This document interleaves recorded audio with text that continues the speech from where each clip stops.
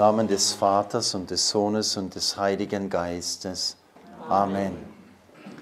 Allmächtiger, ewiger Gott, wir loben und preisen dich, wir beten dich an heute am Erscheinungstag des Herrn, wo du allen Völkern erschienen bist, den Heidenvölkern, wo die heiligen drei Könige auch zu dir gekommen sind und dich angebetet haben. So wollen wir dich auch anbeten und tiefer hinein äh, dringen in das Geheimnis des Vaters, der seinen Sohn in diese Welt gesandt hat.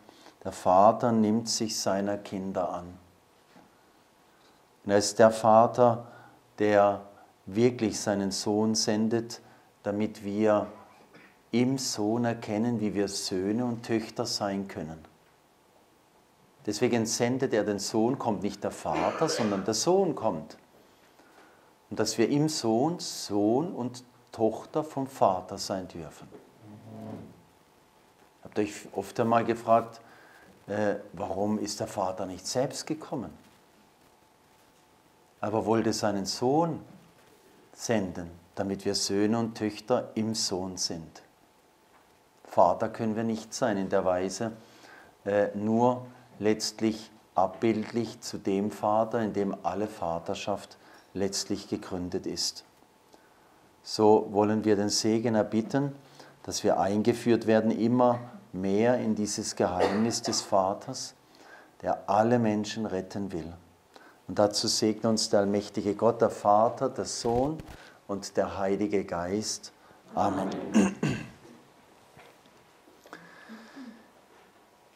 Als aber die Zeit erfüllt war im Galaterbrief 4, 4 bis 7, als die Zeit erfüllt war, sandte Gott seinen Sohn geboren von einer Frau und dem Gesetz unterstellt, damit er die freikaufe, die unter dem Gesetz stehen, und damit wir die Sohnschaft erlangen. Seht ihr, das ist die, die Sohnschaft, die wir erlangen dürfen. Söhne und Töchter im Sohn. Das war durch die Erbsünde, wir haben es erkannt, einfach weg. Wir waren hoffnungslos verloren, getrennt von Gott und waren jene, die eigentlich auf einem verlorenen Posten waren hier auf Erde, Erden. Aber dadurch hat der Vater seine Liebe gezeigt, dass er zu uns gekommen ist und seine Kinder wieder zurückhaben wollte bei sich.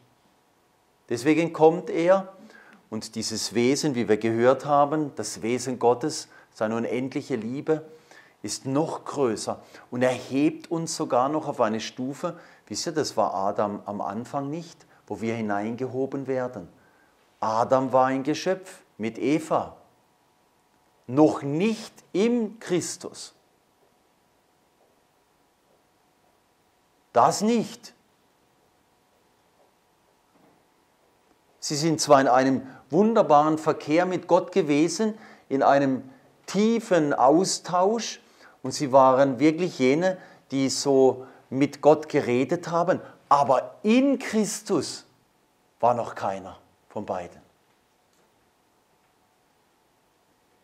Also Gott erhebt uns noch höher wie Adam und Eva und zwar in seinen Sohn hinein. Das Abbild hebt er hinein in das Ebenbild. Weil Christus ist das Ebenbild des Vaters. Jetzt müsst ihr euch mal vorstellen, was dieser Vater vorhat mit uns. Das haut uns ja alle Sicherungen raus, oder? Im Grunde. Wenn wir da Sicherungen haben irgendwo, na, ne? die wurden bei der Elektrik arbeiten, ja, da, da verschlägt es ja die Sprache. Hast du das wirklich vor mit uns? Er hebt das Abbild das noch gefallen ist, kommt zu ihm, holt ihn heim, nimmt noch die Sünden von ihm äh, stellvertretend auf sich, von allen Kindern, von seinen Kindern auf sich. Und dann hebt er dieses Abbild, dieses armselige Häuflein in Christus in das Ebenbild hinein, sodass Jesus sagen kann, Vater, lass sie eins sein, wie du mit mir eins bist, ich in ihnen und du in mir. Das war bei Adam und Eva nicht der Fall.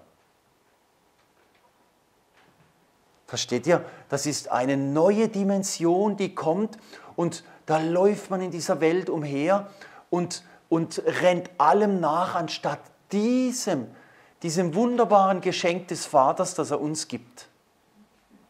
In Jesus Christus. Dass er das wirklich getan hat. Das zeigt doch die absolute Liebe, um uns, um uns in diese Sohnschaft hineinzuführen. Weil ihr aber Söhne seid, sandte Gott den Geist seines Sohnes in unser Herz. Auch noch den Geist seines Sohnes in dein Herz. Damit du ja Sohn und Tochter bist und nichts anderes bist. So wie jetzt eine Mutter sagen würde, du bist immer mein Sohn. Egal was. Oder der Vater sagt, du bist mein Sohn. War auch mal so bei einer Geschichte, ähm, wo ein Sohn eben einer Mutter, die war sehr fromm, ging immer in die Kirche und hat Rosenkranz gebetet. Und äh, dann hat aber der Sohn irgendwie mal gedacht, ja, ich muss irgendwie mal Geld beschaffen. Hat es natürlich dann so gemacht, dass er eine Tankstelle ausgeraubt hat, aber die Polizei hat ihn erwischt und dann ist er im Knast gesessen. Dann sind natürlich die anderen Rosenkranzfrauen äh, zu ihr gekommen und haben gesagt, ja du, gerade du, du bist die frömmste von uns. Warum passiert es dir? Warum hat er dich jetzt so blamiert? Und die haben gejammert vor ihr, das hast du überhaupt nicht verdient. Dann sagt sie, stopp, schweigt. Ob er im Gefängnis ist oder irgendwo anders es bleibt mein Sohn. Merkt ihr? Genauso waren wir im Gefängnis dieser Erbsünde, getrennt vom Vater, aber er hat uns rausgeholt und er hat diese Sohnschaft nicht mehr nicht aufgegeben. Er hat uns gesucht, das Verlorene, denn er ist gekommen, das Verlorene zu suchen, um es zu finden. Das macht den Vater so groß. Da hat er seinen Sohn gesandt, damit wir in ihm in diese Sohnschaft hineinkommen und den Geist empfangen, dass wir nicht dahin vegetieren, einen Geist der Verzagtheit bekommen. Oh je, liebt er uns überhaupt noch? Oder ist er wieder wütend auf mich? Oder nicht? Äh, wo ich ständig so nachdenke. Manche denken ja so, da geht es immer hin und her. Wir haben es gestern gehört, da wechselt es rum äh, und du bist, das ist unberechenbar, das ist der unberechenbare Gott. Aber wenn du so einen Vater gehabt hast, dann ist es natürlich unberechenbar.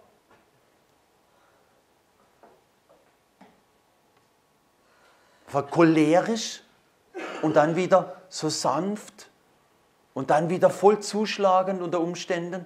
Dann hast du vielleicht so ein Gottesbild in dir und du wechselst immer hin und her. Aber Nein, wir haben diesen Geist des Sohnes in uns empfangen, wie Jesus es erbittet für uns, Vater. Äh, Vater, ich bitte dich, dass die Liebe, mit der du mich geliebt hast, in ihnen ist. Dann hast du auch keine Angst mehr vor deinem Vater im Himmel. Da haben so viele Angst, weil sie den Geist nicht haben weil sie diesen Geist, diesen Heiligen Geist nicht haben, den kannst du noch haben, wenn du in der Gottesfreundschaft bist, wenn du deine Taufe lebst, wenn du im Wort Gottes lebst, dann. Sonst haben wir nur noch Angst vor dem Gott und dann wird geschimpft. Wenn irgendetwas passiert, ein Tsunami, ein Erdbeben oder sonst irgendwas oder ein Sturm, ja, wie kann er das zulassen? Da hast du einen Geist der Anklage in dir. Der, der, kommt nicht von Gott, sondern vom Teufel. Der klagt an, der klagt sogar noch Gott an. Der klagt den Nächsten an, aber auch Gott genauso. Aber wir klagen Gott nicht an, sondern wir wissen ja, es ist gut, wenn das, was da draußen passiert, wenn alles durcheinander kommen und die Elemente sich gegen uns erheben, ist nicht die Sache Gottes, das ist unsere Sünde die alles durcheinander bringt in der ganzen Schöpfung. Das heißt sogar, wenn gesündigt wird, wird die Oase zur Wüste. Und jetzt kommt das andere, das Positive, gell? das wird oft vergessen. Wenn aber Menschen heilig leben, wird die Wüste zur Oase. Wir verändern durch unsere äh, durch unser Verhalten und durch unser heiliges Leben verändern wir die ganze Schöpfung. Müssen alle wieder umkehren, die Gebote Gottes halten, das äh, Wort Gottes halten, die Lehre Gottes, äh, die im Katechismus steht, die die Kirche uns schenkt, halten und ein wirklich gutes, liebevolles Leben führen nach den Prinzipien des Evangeliums, wie Jesus es gesagt hat, liebt einander, wie ich euch geliebt habe, dann verändert sich die ganze Natur. Wenn wir ihn loben und preisen. Aber überleg dir mal, was da geschieht. Er gibt uns von seinem Geist und er will, dass dieser Geist drinnen ist. Nicht, dass wir einen Geist der Verzagtheit hätten. Und manchmal sehe ich so viel Verzagtheit in den Christen, wo ich rumkomme ähm, als Missionar. Das ist eine Verzagtheit, eine Angst vor Gott, eine Angst vor dem Vater. Aber das ist der Geist der Verzagtheit. Nicht der Geist äh, der Sohnschaft, indem ich ein Vertrauen habe in Gott, in meinen Vater. Sag, komme was wolle. Und auch wenn der Teufel ein bisschen angreift, oder wenn ich mal eins auf die Rübe bekomme. Macht nichts. An dir halte ich fest, weil Jesus Christus bis zum letzten Moment im tiefsten und im dunkelsten an, Gott, dem Vater, festgehalten hat. Wisst ihr wo? Mein Gott, mein Gott, warum hast du mich verlassen? Bist fern meinem schreienden Wort und meiner Klage, so hat er gebetet. Aber nur den ersten Teil. Vater, in deine Hände befehle ich meinen Geist. Nirgends anders äh, will ich sein, nur bei dir in der tiefsten Dunkelheit. Was ist das für ein Vertrauen, versteht ihr? Und das bräuchten auch wir, habe ich auch schon oft gebetet. Wirklich. In tiefsten Momenten. Und das liebt der Vater ganz besonders. Wenn du da nicht rumlamentierst und dann, oh, es hat doch keinen Wert, äh, der hilft mir eh nichts, wie ich es oft mal höre. Der hilft ja eh nichts. Und dann zu sagen, wo soll ich hin?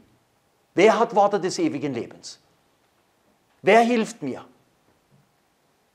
Wisst ihr, was die kleine Theresia gesagt hat? Das ist ganz interessant. Und wenn er mich töten würde, ich würde ihn dennoch lieben. Der kriegt mich nicht mehr los. Versteht ihr? Jesus sagt, Vater, du kriegst mich nicht mehr los. In deine Hände befehle ich meinen Geist. Und das ist eine Sühne gewesen, die er freiwillig auf sich genommen hat, dass das, was zusammen war, eine ganze Ewigkeit, nie getrennt, hat er freiwillig auf sich genommen, dass er das verspürt hat innerlich, dass jetzt, Vater, wo bist du? Ich spüre nichts mehr von dir. Es ist nichts mehr da. Um was zu erreichen? Dass jene Kinder, die ganz weit weg sind, fern sind von Gott, in die Gottes Nähe kommen. Das ist die äußerste Sühne. Wisst ihr, die äußerste Liebe eines Gottes. Oh, dann trennen wir uns lieber ein bisschen, dass die Kinder wieder zu mir kommen. Das ist die äußerste Liebe. So wie Paulus sagt, der gleiche Geist, wie Paulus sagt. Oh Gott, ich will von dir getrennt sein auf ewig, damit das ganze israelitische Volk gerettet wird. So sagt er es, Paulus. Dass sein Volk gerettet wird. Da will ich lieber von dir getrennt sein. Dass alle gerettet werden. Merkt ihr? Und genau das hat Christus gebetet. Oder Paulus hat es ihm nachgemacht. Äh, weil er hat es verstanden, was das für eine Sühne war. Dann äh, hat er eher gesagt, ich will lieber von dir getrennt sein damit alle gerettet werden. Die äußerste Liebe, die der Vater und der Sohn auf sich nehmen als Sühne. Da ist der Vater mitten in der Sühne drin, nicht nur Jesus, versteht ihr? Der Vater auch. Was meint ihr, was das war für beide? Die in Ewigkeit ineinander vereint waren in der Liebe des Heiligen Geistes und nehmen das freiwillig auf sich. So wie wenn jetzt Ehegatten freiwillig eine Zeit ähm, auf sich nehmen, wo sie getrennt wären voneinander, gehen sie fast kaputt, wenn sie richtig verliebt sind. wenn sie richtig verliebt sind, schon, gell? Aber die sind ja von Ewigkeit ineinander verliebt, Vater und Sohn. Jetzt stellt euch das mal vor und jetzt spüren sie das. Mein Gott, mein Gott, warum hast du mich verlassen? Warum? Ja, für die Kinder. Für unsere Kinder tun wir es. Merkt ihr, da wird manchmal dann verkündet gesagt, siehst du, der Sohn hat es auch nicht so mit dem Vater gekonnt, gell? da oben. Ja? Ganz, ganz schnell. Aber das ist nicht der Geist. Weil ich habe es bei Paulus gefunden. Ich will lieber getrennt sein von dir, damit das ganze israelitische Volk gerettet wird. Das ist genau das. Das ist der Geist. Der ist so schön. Und dieser Geist dürfen wir haben. Der ist nicht verzagt. Der hat solchen, solches Vertrauen, wie es auch hier steht, Jesus, ich vertraue auf dich. Vater, ich vertraue auf dich. Da darf uns nichts trennen.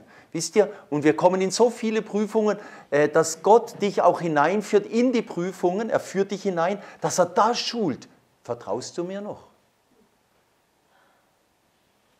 Naja, das ist gar nicht so einfach. Versteht ihr, wenn du Folge 7 bist, der Schmetterlinge im Bauch, verstehst du, dann vertraust du deinem lieben Gott über alles. Aber dann, wenn es mal schwer wird, dann trotzdem zu sagen, Vater, in deine Hände befehle ich meinen Geist, ich gehöre nirgends anders hin. Dann hast du den Geist. Der kriegt dich nicht mehr los, der Vater. Also, mich kriegt er nicht mehr los. Versteht ihr?